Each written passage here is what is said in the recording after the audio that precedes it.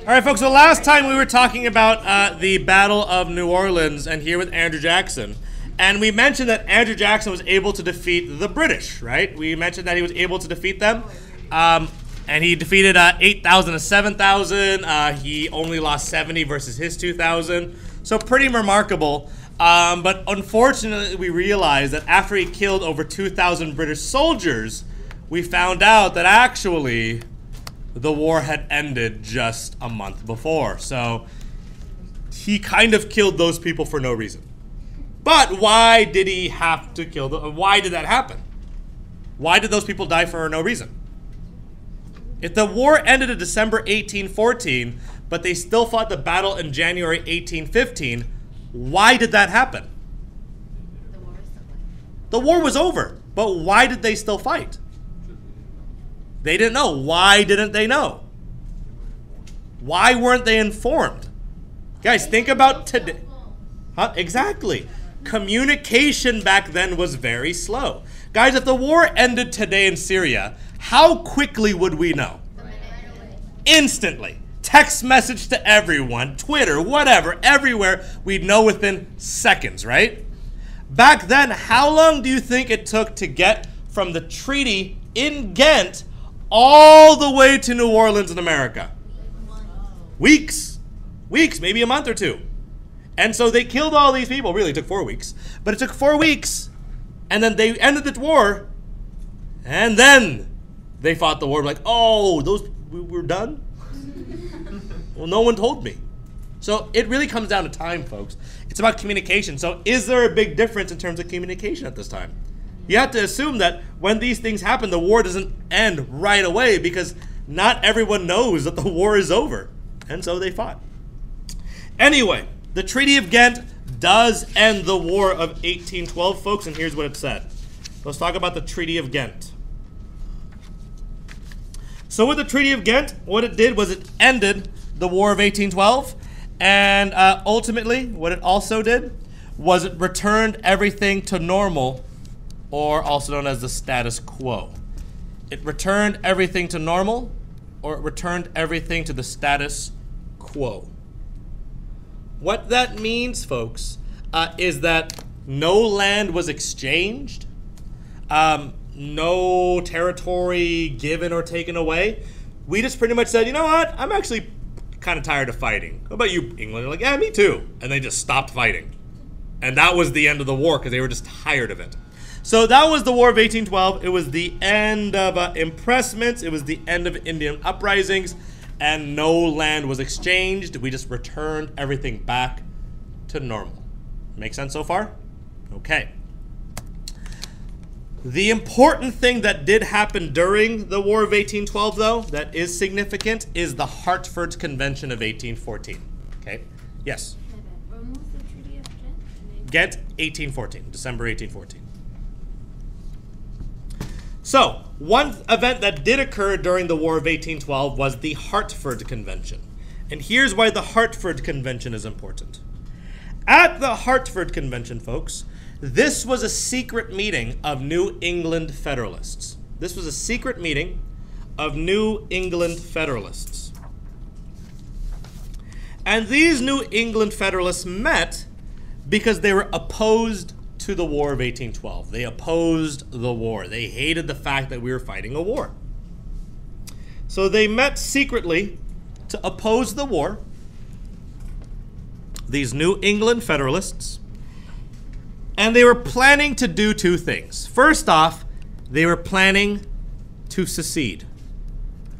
What does it mean to secede? To break away, right? They're planning to break away and form their own country. And two, they were hoping to sign a separate treaty with England. So many people were largely upset when they found out about the Hartford Convention because here were young Americans dying in a war with the British, and these selfish New England Federalists, all they care about is what? Separating.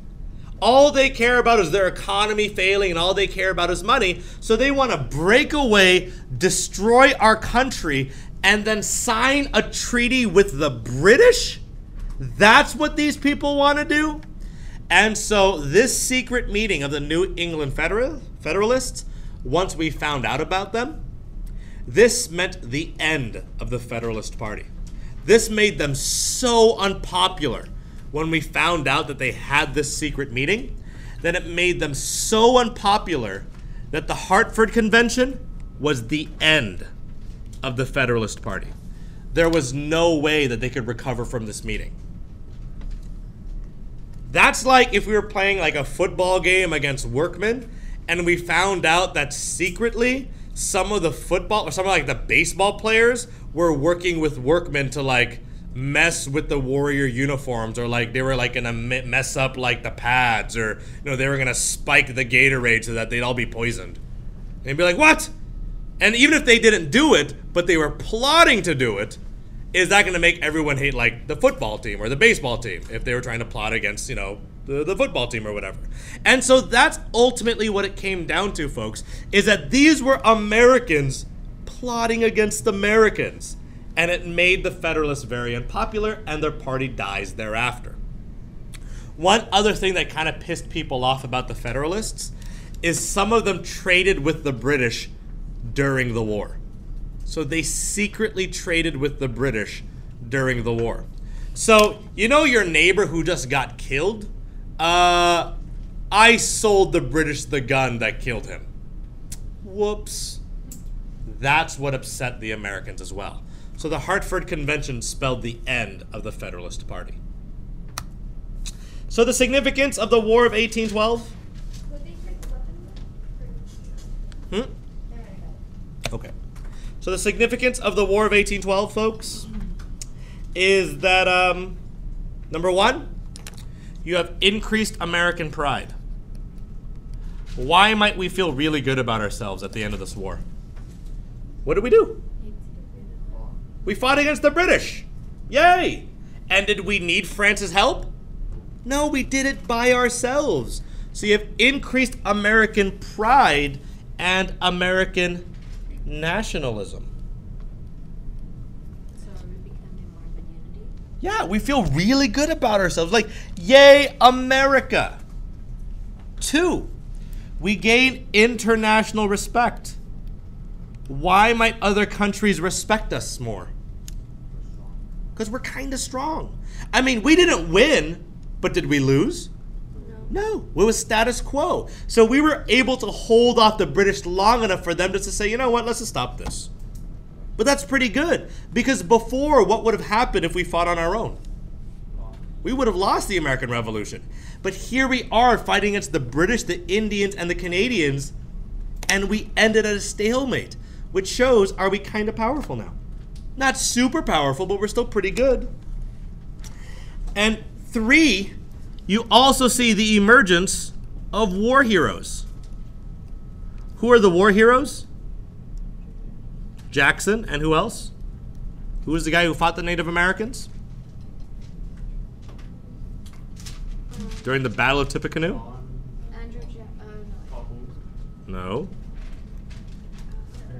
Harrison, William Henry Harrison. And why is it important that these two heroes emerge? What will they eventually become? President. And they become president because they became popular during the War of 1812. So that's significant. They'll become president one day. And lastly, this is also important because you have the end of who? End of the Federalist Party. The end of the Federalist Party. So if I asked you what was the significance of the War of 1812, you should be able to cite all these things. Uh, American pride and nationalism, international respect, war heroes like Jackson and uh, Harrison emerging, eventually to become president, and the end of the Federalist Party, which will create more American what? If there's only one party left, what is that going to create? Unity. Cool with that?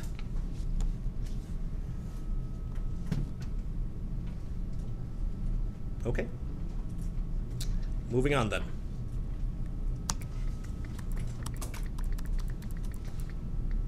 Where's the other PowerPoint?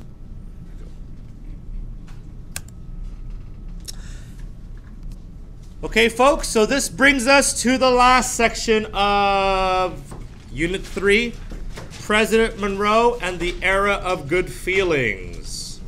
So, again, the last section of Unit 3 President Monroe and the Era of Good Feelings. Hereth we go. Do you have this already written down? No. No. So, again, we're going to go ahead and end Unit 3 with President Monroe and the era of good feelings.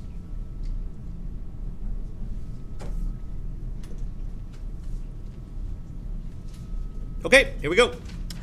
In the election of 1816, the Republicans nominated James Monroe, while the Federalists nominated Rufus King. No relation.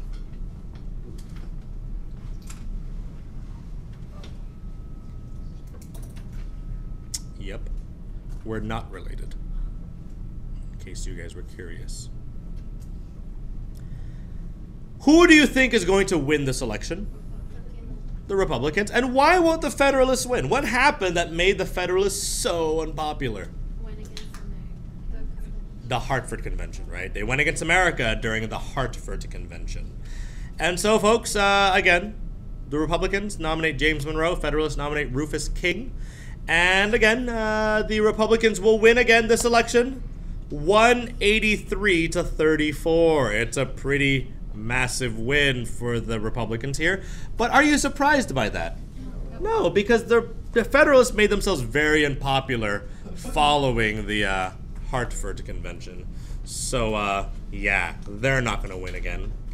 Which makes uh, James Monroe our fifth President of the United States, serving from 1816 to 1824. And what do we know about uh, James Monroe already? Two terms. Now, here's a question I have of you. James Monroe was president until 1824. How many years has a Republican been president of the United States now? More than 16. How many years has a Republican now been president of the United States?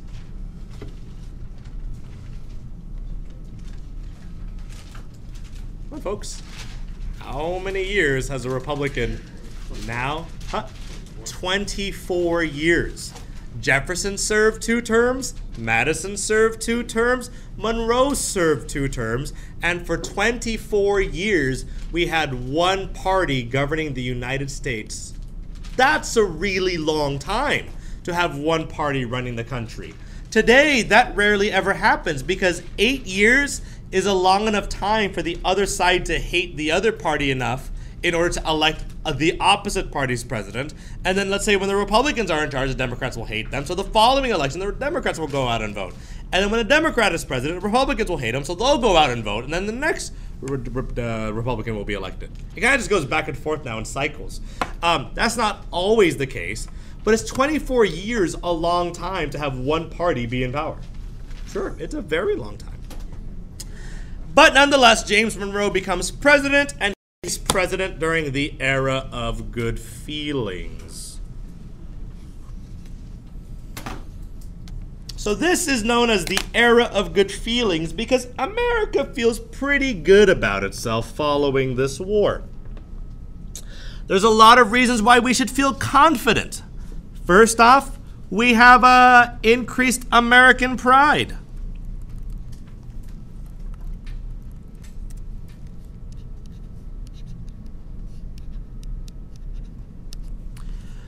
We also have political unity. Why do we have more unity in America? Which means we only have one party. So is there as much conflict anymore? No, we feel really good about ourselves. We feel happy. Yay! Confidence and happiness and unity. We have a lot of American pride. And so they call this era of good feelings following the War of 1812. They also call this post Ghent nationalism. Now, why do we call it post Ghent? What is Ghent? The treaty. The treaty that what? That ended the War of 1812. So you have this post-Ghent nationalism, which is a treaty that ended the War of 1812, and uh, that was pretty good, I guess. Um, other reasons why we have this sense of nationalism, then, folks, is that uh, we built a new capital. And so we feel really good about ourselves because we built a new White House. We're proud and you know about how beautiful our new capital was. So we built a new capital. Very proud of that. We also built a new bank, or the S-Bus, the second bank of the United States. So we built a new bank. So we're very proud of that as we begin to emerge in this new uh, era of good feelings. The S-Bus, or the new bank. We're also proud because our artists are becoming more world renowned, specifically artists from the Hudson River School. Oops. The Hudson River School. Hmm? Our, our artists become more popular, like world popular, because of the Hudson River School. What do you think they began to paint? What do they think they became well known for? Landscapes. Rivers, lakes, whatever else, but they're called landscapes. So they became very famous for painting the American landscape. And so the Hudson River School became very popular. And American paintings were in very high demand. So did we feel pretty good about ourselves? Like, oh, even Europe likes our paintings. Oh, that's pretty good. And they also liked some of our books. You don't have to write any of these down. Uh, but James Fenimore Cooper, he wrote The Last of the Mohicans. So some of you have read that book before. That's a very popular book. Uh, Washington Irving also wrote the very famous book, The Legend of Sleepy Hollow. Um, that's a story of who?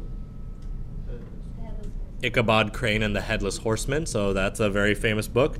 And he also wrote the story of uh, Rip Van Winkle, the guy who slept in a forest and woke up 100 years later. He's like, oh, so tired. What happened? And 100 years have passed. Uh, but America is very, very uh, nationalistic right now because of a lot of positive things happening in society. We fought a war, we have a new bank, we have a new White House. You know, internationally, we are well respected both militarily, literarily, artistically. I mean, does America feel good about ourselves? Sure, we're very nationalistic. And of that nationalism, you also see an increase in economic nationalism. You see a rise in economic nationalism. And in this case, folks, we're going to go ahead and try to strengthen the U.S. economy. Now, with regard to economic nationalism and strengthening the U.S. economy, we felt that the economy had to be stronger because it became very evident that the U.S. economy was very weak. When did we learn that the U.S. economy was really weak? Hmm? What? Uh, after the Articles of Confederation. The Embargo Act. So the Embargo Act taught us that the U.S. economy was very, very weak. So that's what the U. That's what the uh, Embargo Act taught us was that the U.S. economy was terribly weak. In fact, we knew it was so weak uh, because we were so reliant on who? Who did we absolutely need to survive? Europe. And if there was another war, would we be in trouble? So we realized America had to become self reliant. We learned that America had to become self reliant. Because if we didn't, uh, again, we would constantly suffer over and over again.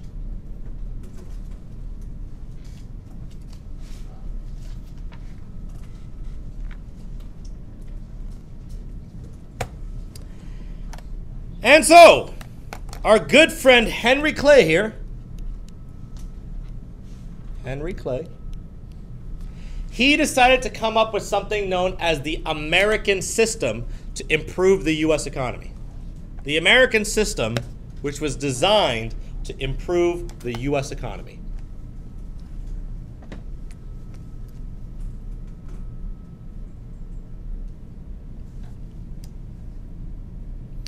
Again, the American system was intended to improve the U.S. economy and promote industry. And promote industry. So he was going to do it with three things. His American system included three parts.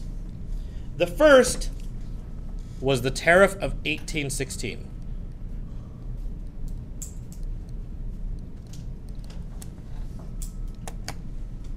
Now, who can tell me what a tariff is? Like, what is a tariff? What is its definition? What does it do?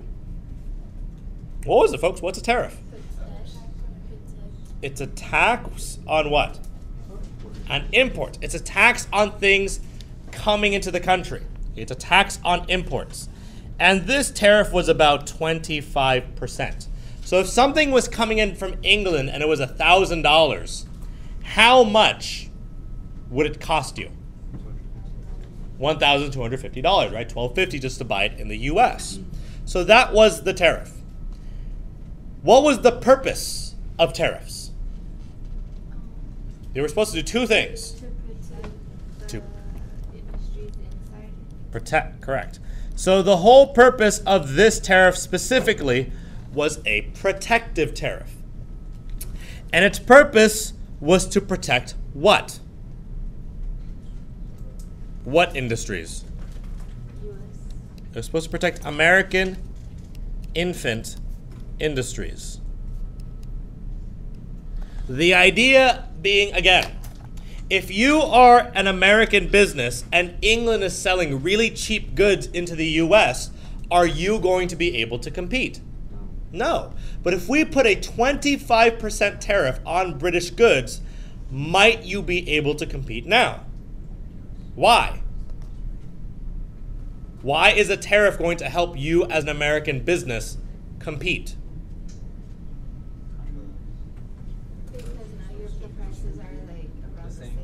Because the British prices are now higher and more similar to yours.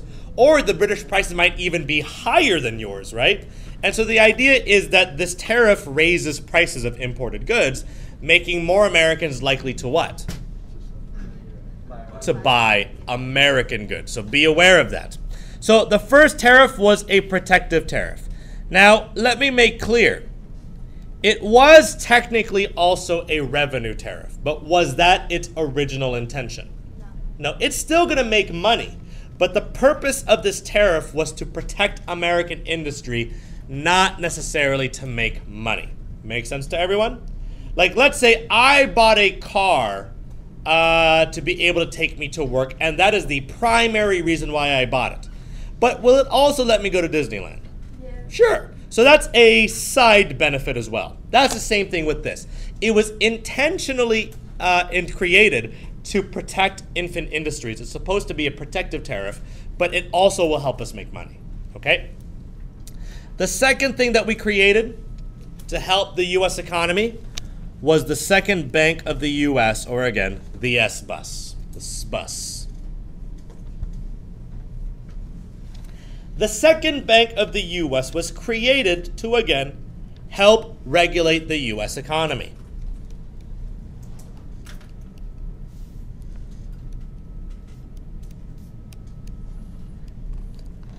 And this was especially important after what? Why would it be so important to regulate the US economy?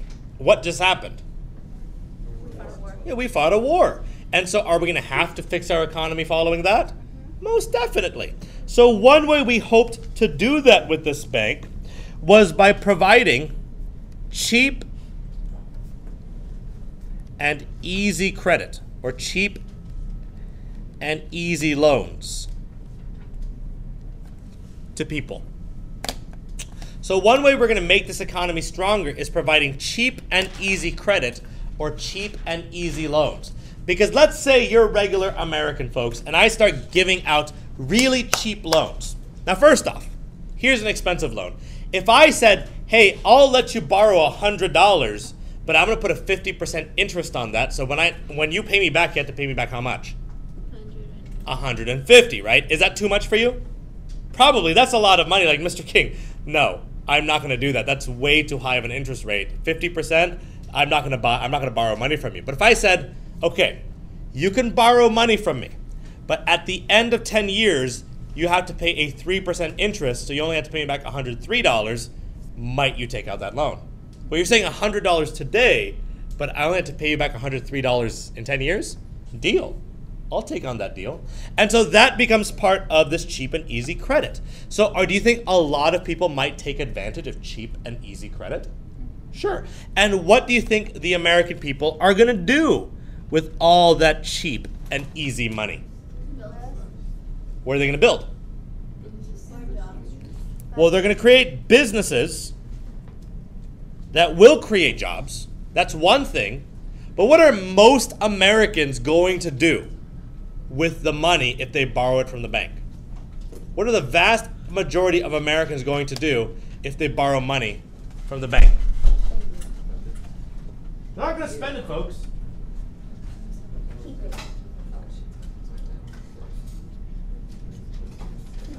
Wait, you, you want me to give them a dollar?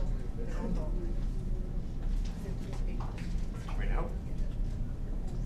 Okay, so Abel, Brian, Jackie, Angie, Leslie, Draven, Marlon, Alexis, Giovanni, Cynthia, Maria, Raul, Jasmine, Lewis, Henry, Joseph, and Stephanie. Stephanie's not my class right now. Uh, you guys all have to go and pay for your PSAT, Right now?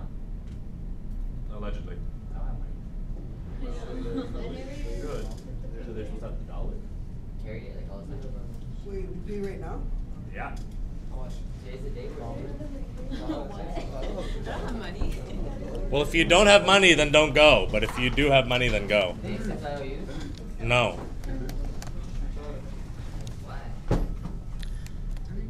So, what are most Americans at this time? If you said, hey, here's all this money, what are most Americans going to buy with that money? What's the best thing you can buy with money?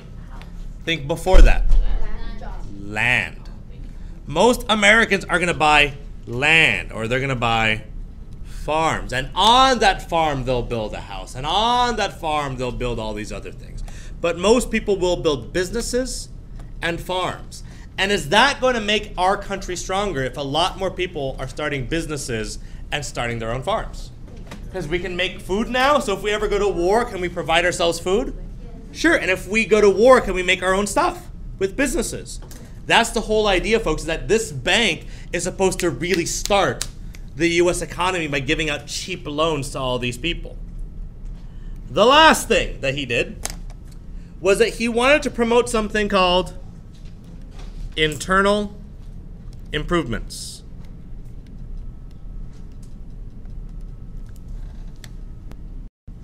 And the idea behind internal improvements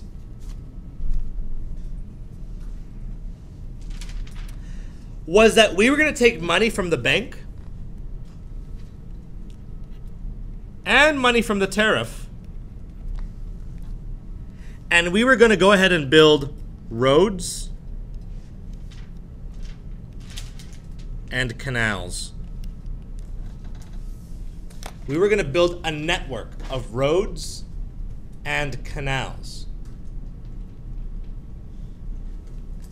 to connect the states north, south, east, and west. Now, why might building roads and canals help improve the U.S. economy? What? Give me transport. Yeah, communication and transportation, folks. Imagine this, folks. Uh, how many of you guys have driven to LA before? Sure. Imagine it takes like 40 minutes from here, right? So let's say there was no freeway and it was only dirt roads. All the way to LA. No, not even any roads. It's just like dirt and prairie and just like rocks everywhere. Do you think it would still take you 40 minutes to get to LA? How long might it take you without unpaved road and just like barren wilderness in front of you? Trees in the way, rocks. Can you drive really fast? You drive maybe like 60, 70, 80 miles to go to LA, right? If you're driving across dirt roads, can you drive that fast? You're probably going to drive like 15 miles an hour, right? Because if you don't, your car's going to break down. Let's say you have wooden wheels, is that going to take a little bit longer? Sure. And so let's say your drive to LA that today takes 40 minutes might take you five hours without roads. Think about it, right? Because if you really could only drive 15 miles an hour on top of that dirt because you don't want to destroy your car or like have the transmission break down, you're gonna have to drive a quarter of that speed. And if you could drive there in 40 minutes in 60 miles an hour, and you can only drive 15 miles an hour now, is it gonna take a lot longer to get there?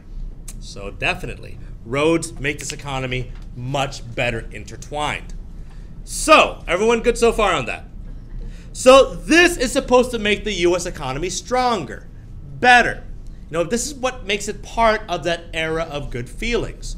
Unfortunately, that era of good feelings name was also kind of a misnomer.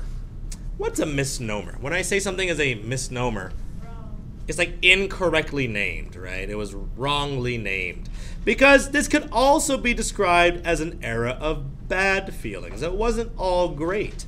There's actually some bad things that happened during this era, which is why we also call it an era of bad feelings.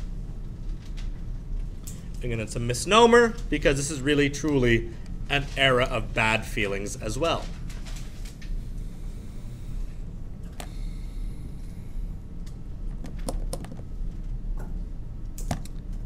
Here's why it's an era of bad feelings. The Panic of 1819. The Panic of 1819. When I say Panic of 1819, folks, I'm talking about like an economic panic, like a depression or an economic recession. That's what we mean by panic when we're talking about panics in US history. And what happened was that in 1819, there was an economic panic, and the U.S. economy uh, was devastated. The U.S. economy declined pretty drastically, kind of like just what happened to us, right? We had an economic panic in 2008, and the U.S. housing market just crashed. That's what happened in 1819. Make sense to everyone so far? Okay, so it's very similar to what happened to us recently. It's an economic panic or an economic downturn or an economic crash, if you will. The question is, why did this happen? Well, the major reason why this happened, folks, is because of the bank. What was the bank doing that might have caused this economic panic? The loans. It was giving out too many loans.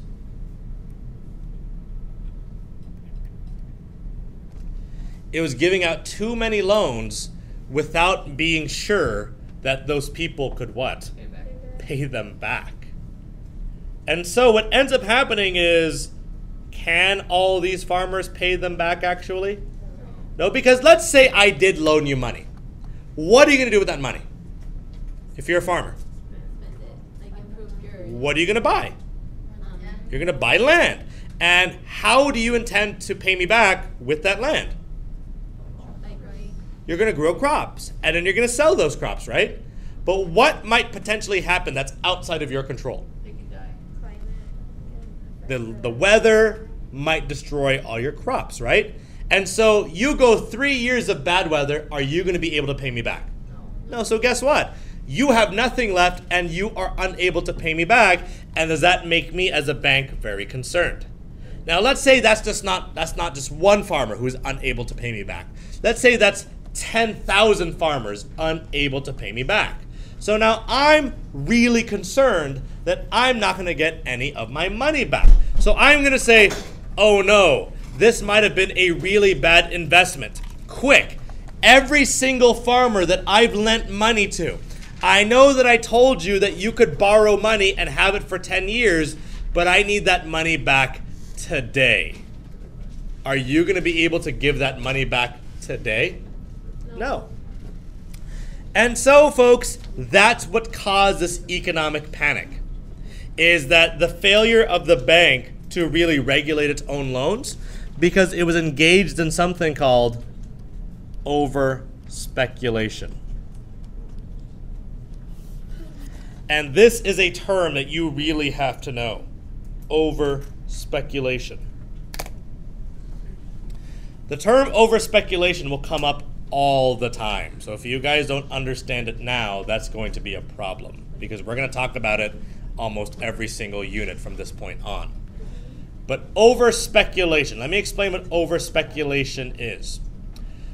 Over speculation, how best to describe this?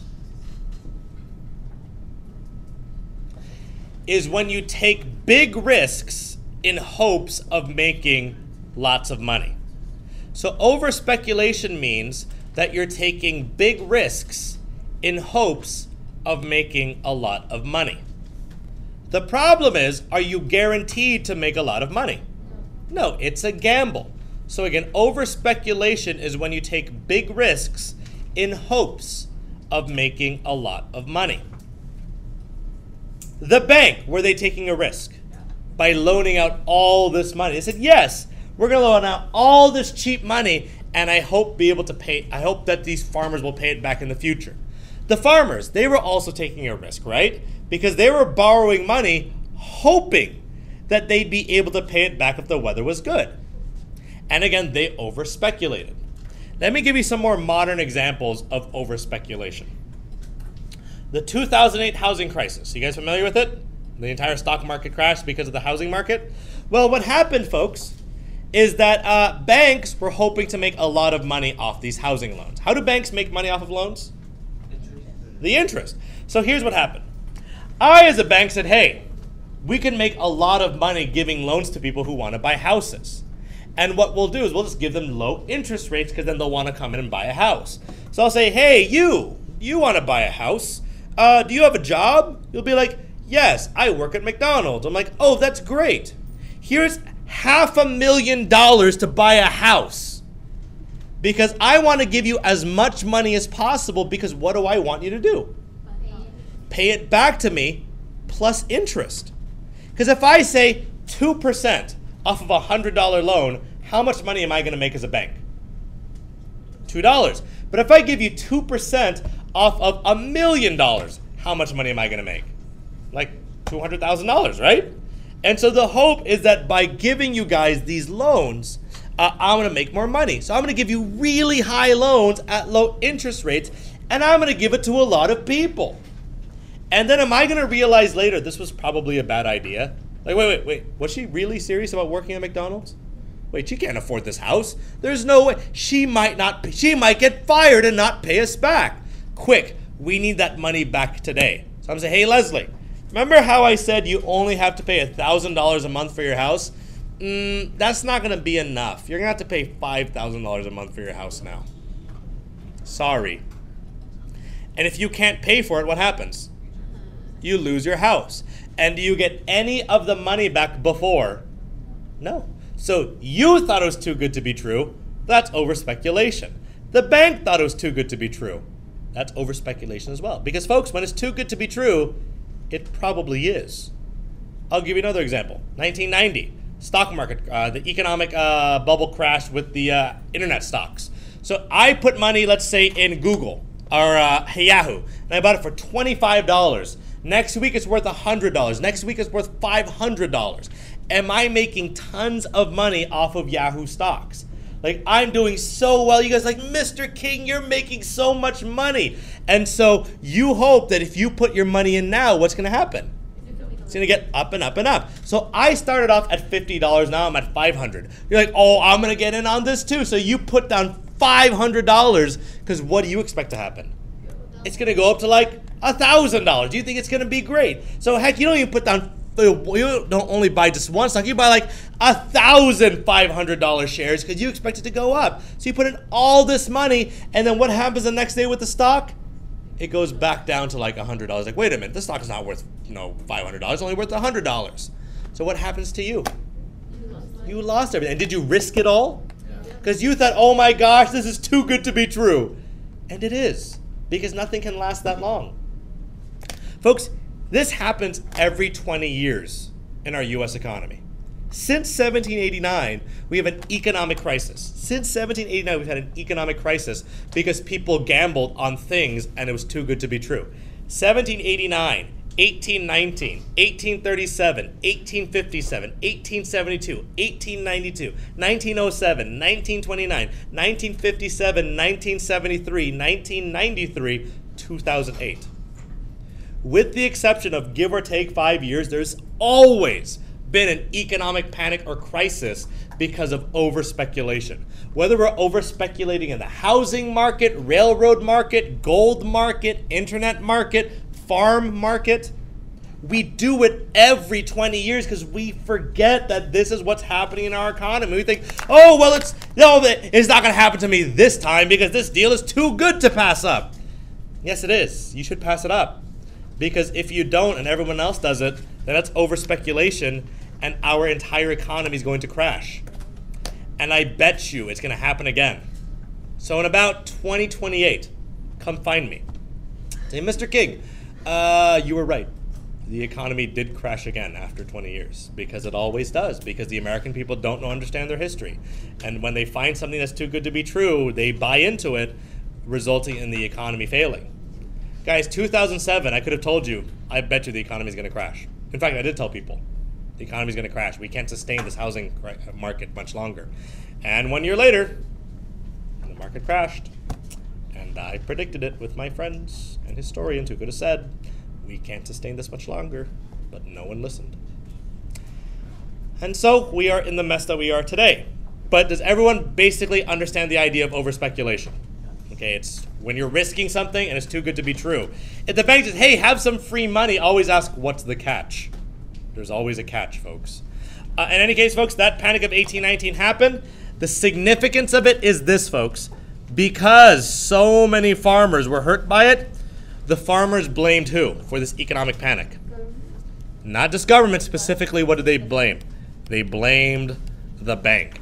And this is going to become really important when we move on to the next unit and we talk about the bank again. But please understand, many farmers were negatively affected by the panic of 1819, and many people began to blame the bank for their problems. Questions there? Okay. Seeing none, we're going to go ahead and end there today because there's not enough time to start the next section.